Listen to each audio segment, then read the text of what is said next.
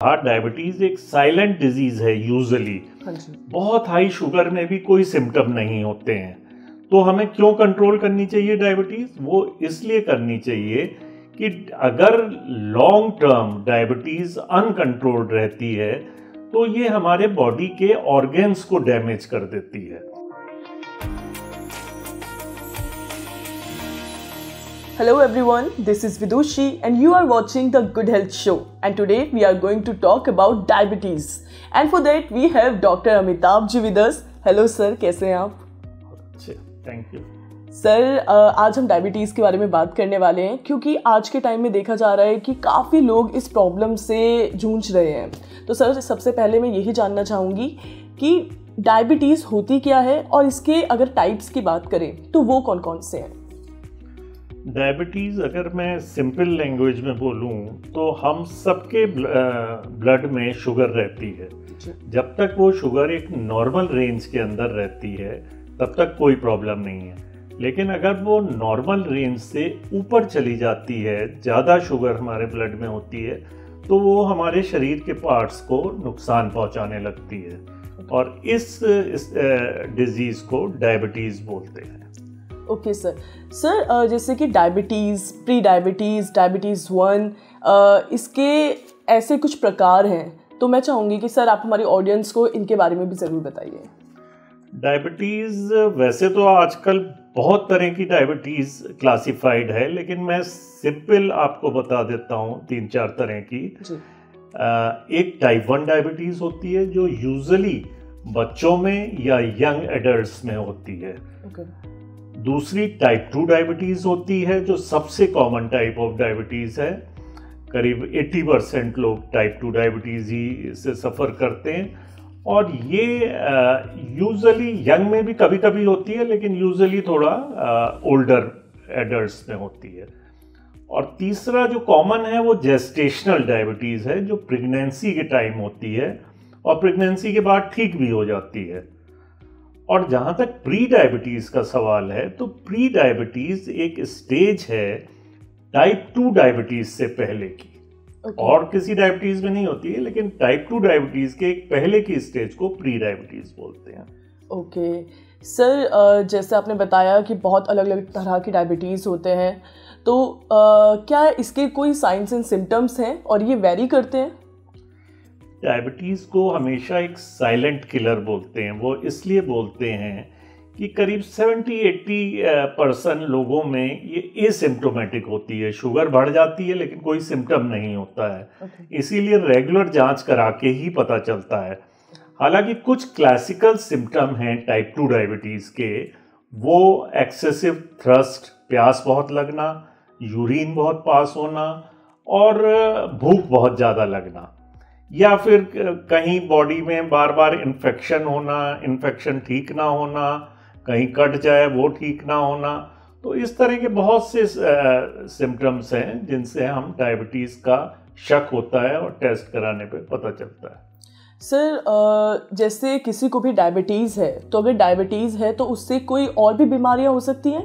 या फिर डायबिटीज़ अपने में एक पूरा है? नहीं जैसे मैंने कहा डायबिटीज़ एक साइलेंट डिज़ीज़ है यूजुअली हाँ बहुत हाई शुगर में भी कोई सिम्टम नहीं होते हैं। तो हमें क्यों कंट्रोल करनी चाहिए डायबिटीज़ वो इसलिए करनी चाहिए कि अगर लॉन्ग टर्म डायबिटीज़ अनकंट्रोल्ड रहती है तो ये हमारे बॉडी के ऑर्गेन्स को डैमेज कर देती है। ओके और इनफैक्ट कोई भी ऐसा ऑर्गेन नहीं है जिसको ये छोड़ती है।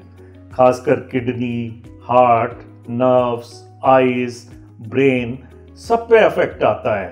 तो इसलिए इसको कंट्रोल करना बिल्कुल शुरू में डायग्नोज होते ही कंट्रोल करना बहुत ज़रूरी है। नहीं तो एक बार ये डैमेजेस हो जाते हैं फिर ठीक नहीं होते।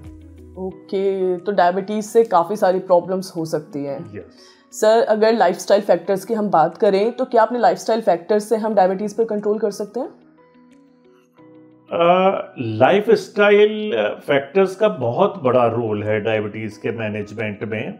इनफैक्ट अगर शुगर थोड़ी सी ज़्यादा होती है तो हम पहले लाइफ स्टाइल ही ट्राई करते हैं पेशेंट्स में। हालाँकि अगर बहुत हाई है शुगर तो केवल लाइफ स्टाइल से काम नहीं चलता है, फिर तो मेडिसिन देनी पड़ती हैं। जहाँ तक डायबिटीज़ को ठीक करने का सवाल है, उससे ज़्यादा बड़ा रोल लाइफस्टाइल फैक्टर्स का प्रिवेंशन में है। अगर हम लाइफस्टाइल पहले ही अपना ठीक रखें तो हम डायबिटीज़ होने से रोक सकते हैं इन हाई रिस्क इंडिविजुअल्स जिनमें डायबिटीज़ होने का ज़्यादा खतरा है। Okay sir if we talk about diabetes and pre diabetes तो सर इनका डायग्नोसिस कैसे होता है? हाँ अग, uh, जैसा मैंने कहा हम सबके ब्लड में शुगर रहती है। तो शुगर का एक लेवल होता है। जैसे एक नॉर्मल आदमी में जो नॉन डायबिटिक है उसमें 70 टू 140 के बीच में ब्लड शुगर लेवल होता है। Okay. लेकिन अगर हमें डायबिटीज़ हो गई है तो मैं अगर फास्टिंग शुगर की बात करूँ फास्टिंग शुगर हम किसी नॉर्मल का देखेंगे तो 100 से नीचे आएगा जो सुबह का खाली पेट। लेकिन आ, अगर वो 100 से लेके 100 थर्टी के बीच में आ रहा है तो हम उसको प्री डायबिटीज़ मानते हैं। और हंड्रेड थर्टी के ऊपर आ रहा है तो डायबिटिक रेंज में मानते हैं। इसी तरह पोस्ट फरेंडियल या रैंडम शुगर खाने के बाद वाली, अगर वो नॉर्मल आदमी में देखें तो 140 से नीचे हमेशा रहती है, जितना भी मीठा खा ले, कुछ भी खा ले आदमी। लेकिन अगर वो 140 से 200 के बीच में आ रही है तो वो प्री डायबिटिक रेंज मानी जाती है। और 200 के ऊपर आ गई तो पेशेंट डायबिटिक हो गया। ओके ओके सर ये जो डायबिटीज़ है ये एक पर्टिकुलर एज को टारगेट करता है या फिर किसी को भी हो सकता है?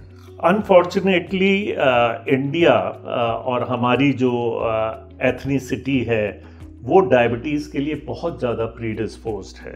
Okay. जैसा आपको पता होगा कि हम डायबिटिक कैपिटल भी हैं वर्ल्ड का, इतने ज़्यादा हमारे यहाँ डायबिटिक पेशेंट्स हैं। और अगर हम कंपेयर करें वेस्ट से तो हमारी कंट्री में करीब 10 साल पहले डायबिटीज़ आ जाती है इंडिविजुअल्स में उनकी अपेक्षा। इवन अगर हम लोग पतले हैं, हमारा बीएमआई भी कम है, तब भी हम प्री डिस्पोज हैं ज़्यादा डायबिटीज़ होने के लिए। अब जहाँ तक एज का सवाल है तो in past ten years I will say हमें दिख रहा है कि इवन यंग एजेस में न्यूली डायग्नोज पेशेंट बहुत ज़्यादा आ रहे हैं। Okay. जैसे पहले तो 50 प्लस में ज़्यादा डायबिटीज़ डिटेक्ट होती थी और अब 20 प्लस में आराम से हो रही है। मैं कहूँगा मैक्सिमम न्यूली डायग्नोज पेशेंट 20 से 35 के बीच में आते हैं मेरे पास। और सर इसका रीज़न लाइफस्टाइल फैक्टर्स ही है? इसका रीज़न डायबिटीज़ होने का रीज़न कुछ है जैसे एक तो जेनेटिक का बहुत बड़ा फैक्टर है okay. अगर आपके जीन्स में डायबिटीज़ है तो आपको होने का चांस बहुत बढ़ जाता है okay. और ज़रूरी नहीं है कि आपके पेरेंट्स को ही हो या भाई बहन को हो तभी आप प्रीडिस्पोज है आपके इवन जीन्स तो आपके चाचा बुआ मासी किसी को भी अगर डायबिटीज़ है दूर दूर तक भी तो भी आप पॉजिटिव हैं आपके में जीन्स okay. और सिडेंट्री लाइफस्टाइल का बहुत बड़ा रोल है। जो। आजकल एक्सरसाइज नहीं करते हैं जंक फ़ूड खाते रहते हैं तो ये सब चीज़ें डायबिटीज़ को एक अर्ली एज में प्रिसिप्टेट कर देती हैं। Okay. वही डायबिटीज़ जो लेट एज में होती है वो आजकल जल्दी प्रिसिप्टेट हो जाती है because of lifestyle of the okay so lifestyle बहुत ज़्यादा मैटर हाँ, करता है। yes. सर आ, मैं जानना चाहूँगी कि ऐसी कौन सी डाइट्री हैबिट्स हैं या फिर हम अपने खाने में ऐसा क्या ऐड कर सकते हैं जिससे कि हम डायबिटीज़ को प्रिवेंट कर सकते हैं?